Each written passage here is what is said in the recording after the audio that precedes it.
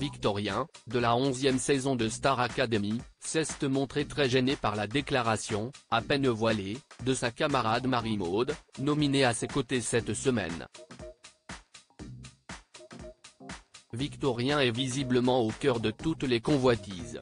Tout comme les 12 autres élèves de cette édition 2023 de Star Academy, le jeune homme de 23 ans a fait son entrée au château de Damary-Lélis, il y a quasiment deux semaines, dans l'espoir de devenir un véritable artiste professionnel.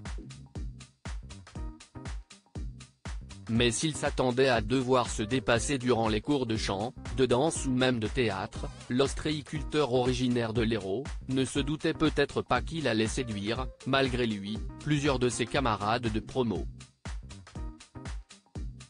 Après les révélations d'Axel, qui assurait à son ami Lenny que Victorien était sa cam physiquement, si est autour d'une candidate de déclarer sa flamme à demi-mot.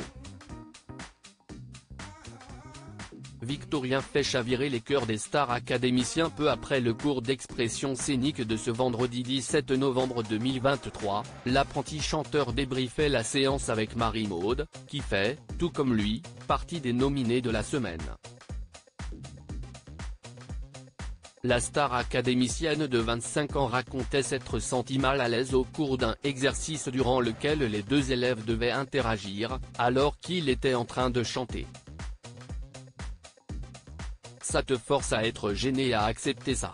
Si est ça l'exercice, c'était que tu acceptes le malaise, a tenté de lui expliquer Victorien avant d'ajouter, ce n'était pas que tu me regardes amoureusement.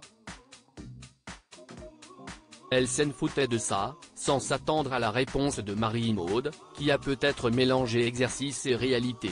Star Academy, Victorien très gêné par la déclaration de Marie-Maud en effet, la jeune femme a rétorqué du tac au tac, ça j'ai plutôt bien réussi. Ça fonctionnait de te regarder amoureusement, non? A lancé Marie-Maude dans un rire, mais laissant planer le doute sur ce qu'elle pourrait réellement ressentir pour son camarade.